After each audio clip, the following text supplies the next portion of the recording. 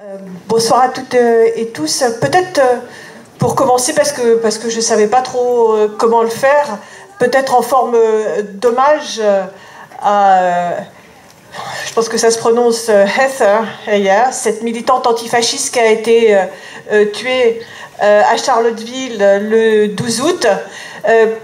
citer une de ses phrases qui correspond tellement bien à ce que vient de nous dire René. Euh, c'était une de ses dernières phrases, c'était « Si vous n'êtes pas indigné, c'est que vous ne faites pas attention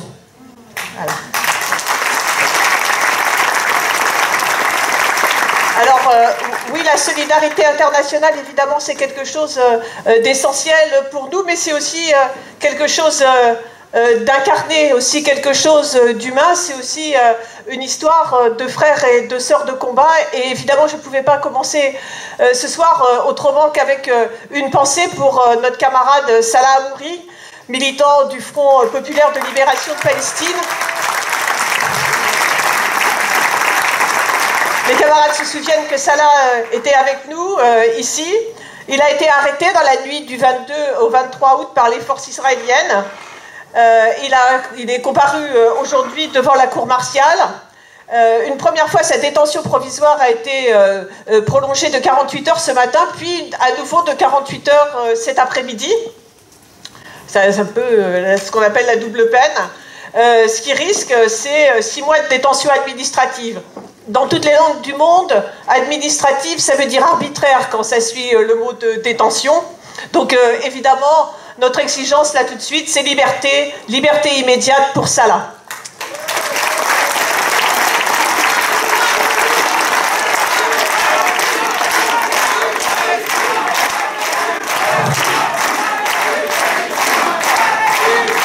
Voilà, mais euh, Salah, on ne va pas supporter qu'on ne parle que euh, de lui. Donc évidemment, à travers lui, notre solidarité, elle va aux 7000 euh, prisonniers palestiniens, dont plus de 300 euh, sont euh, des mineurs qui sont eux aussi victimes de cet arbitraire de l'administration coloniale israélienne.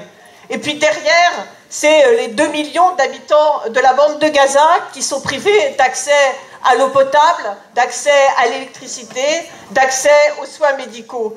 Et au-delà, bien évidemment, notre solidarité, c'est la solidarité avec le peuple palestinien qui se bat pour, pour survivre contre l'État d'Israël et contre l'État colonial et raciste euh, d'Israël.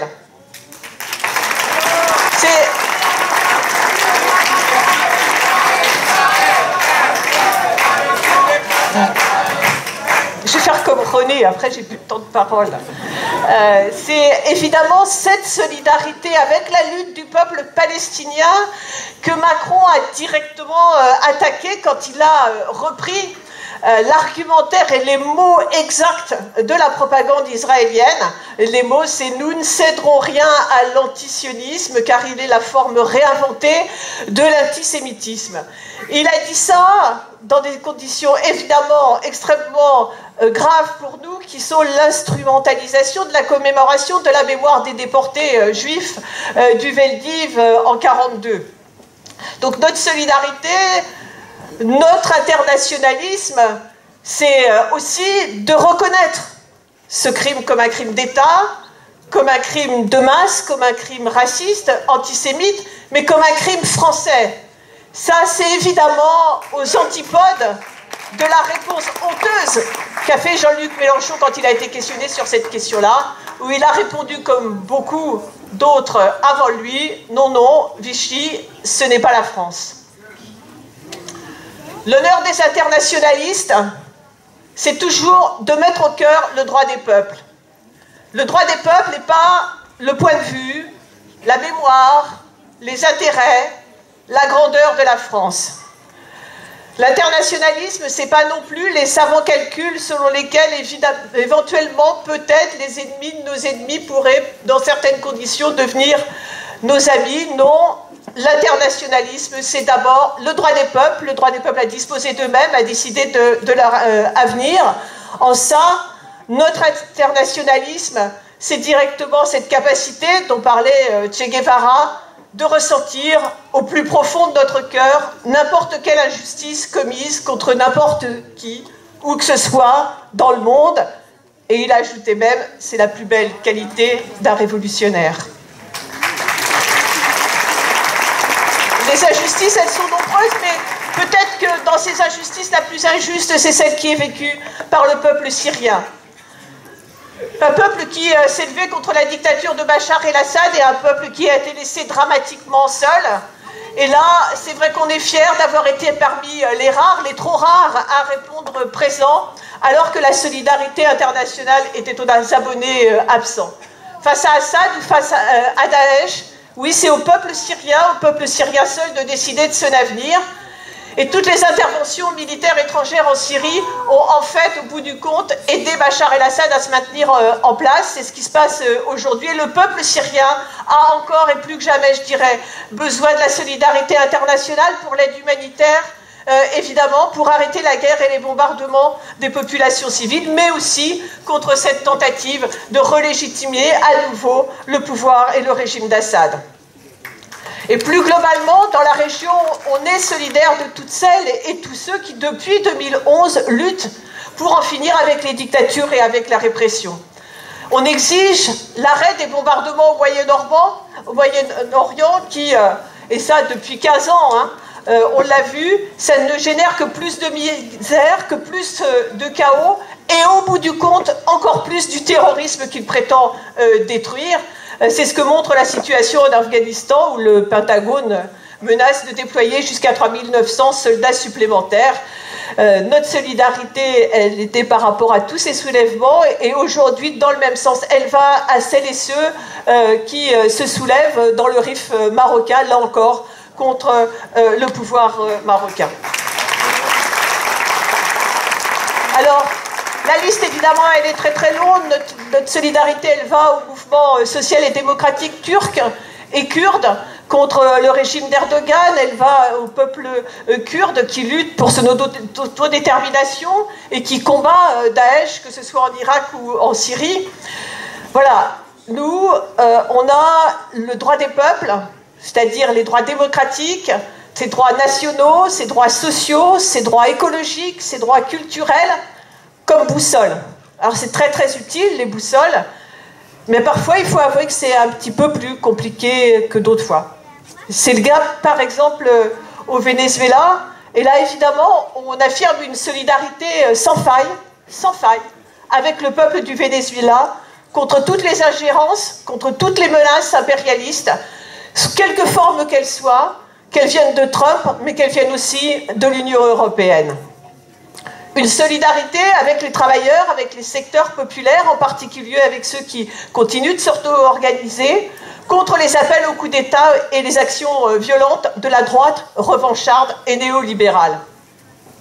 Mais cette solidarité, elle ne nous empêche pas, je dirais même euh, au contraire, un regard euh, critique sur la politique de Maduro et de son gouvernement, sur sa responsabilité dans la catastrophe actuelle, sur des questions qu'on ne peut pas éviter, comme celle de la corruption, des attaques contre les libertés démocratiques, mais aussi sur le paiement euh, de la dette extérieure qui saigne de plus en plus de pays, ou sur le fait de livrer l'arc minier de l'Orénoque à la voracité des multinationales étrangères, avec toutes les conséquences que ça a à la fois pour les populations indigènes et pour les équilibres écologiques. Voilà, c'est là le défi, allier solidarité sans faille, solidarité militante, agissante, indépendance, puis je rajouterais modestie. Parce qu'en fait, euh, rien n'est plus étranger à l'internationalisme, à notre internationalisme, que les donneurs de leçons.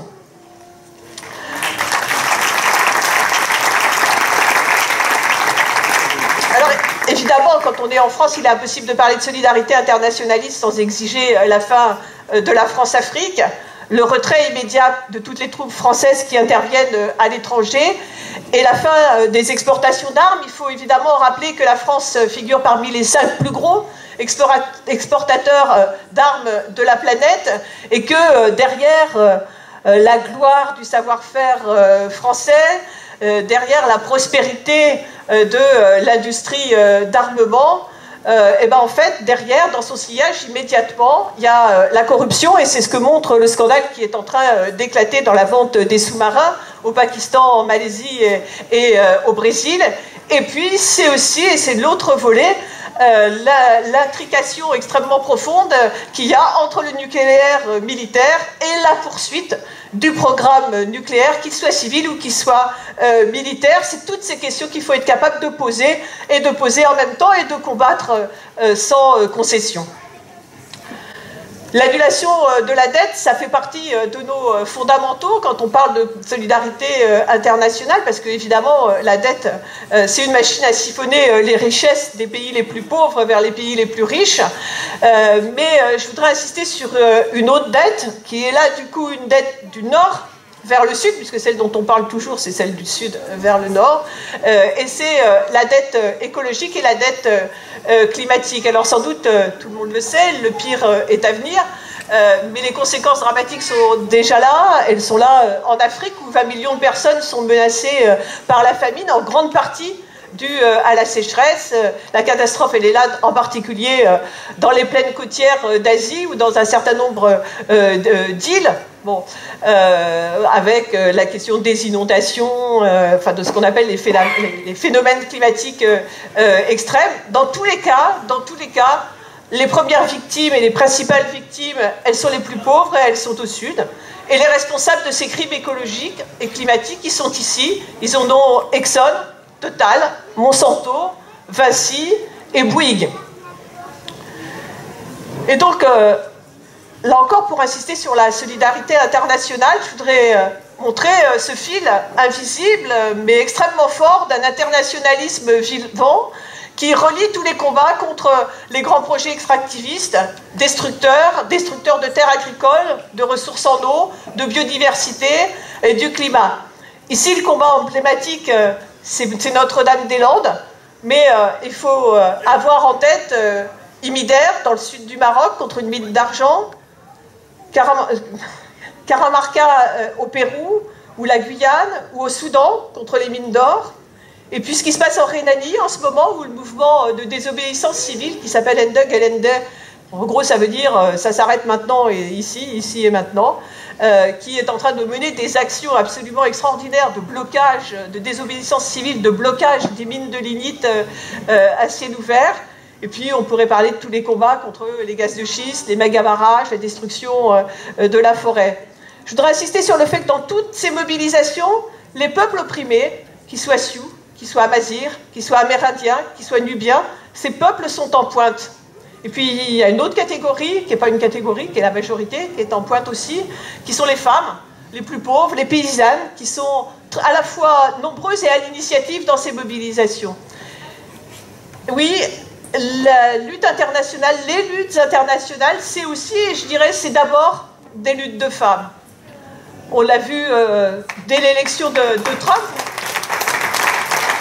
avec les marches des femmes le, 21 janvier, on l'a vu euh, le 8 mars euh, avec euh, la grève internationale. Et puis, il y a des choses qu'on n'a pas besoin de, traduire, ni una menos. Le mot d'ordre des femmes qui luttent contre les violences sexistes en Argentine, au Chili, en Uruguay. Je ne sais pas comment ça se dit au Maroc, mais c'est le même combat que mènent les Marocaines, les centaines de Marocaines qui sont descendues euh, dans la rue ces derniers jours pour lutter contre les violences euh, euh, sexistes. Donc voilà. Pour finir sur ces mobilisations-là, le 28 septembre, c'est la journée internationale pour le droit à l'avortement, et évidemment, on se mobilisera pour que toutes les femmes qui veulent avorter puissent le faire légalement, dans les meilleurs délais et dans les meilleures conditions. C'est un rendez-vous qui est à la fois féministe et internationaliste. Et euh, je finirai euh, juste là-dessus pour dire que cette nouvelle vague de lutte euh, montre que l'internationalisme, c'est pas quelque chose d'abstrait qui fait abstraction et qui écrase les, les différences au nom d'une sorte d'universalisme creux, que c'est au contraire le combat de toutes les oppressions dans quelque chose qui, au bout du compte, est une critique bien plus profonde, bien plus radicale, à la fois du capitalisme, du racisme et du sexisme, ce qu'on pourrait appeler une critique écosocialiste. Merci.